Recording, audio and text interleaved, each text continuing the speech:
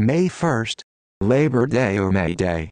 The 8-hour day movement or 40-hour week movement, also known as the short time movement, was a social movement to regulate the length of a working day, preventing excesses and abuses.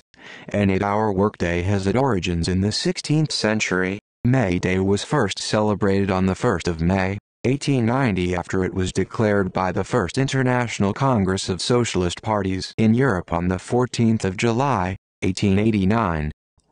It was declared for the workers in Paris to dedicate every year on the 1st of May as the Workers' Day of International Unity and Solidarity. This day was initiated from the labor union movement, which supports 8 hours for work, 8 hours for recreation and 8 hours for rest.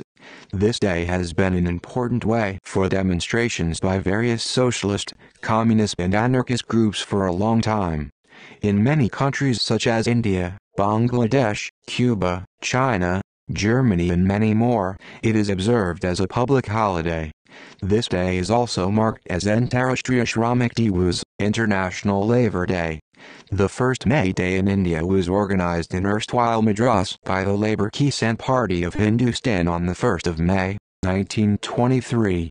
Meanwhile, in 1960, May Day was remembered as Maharashtra Day and Gujarat Day to mark the date when these two states achieved statehood.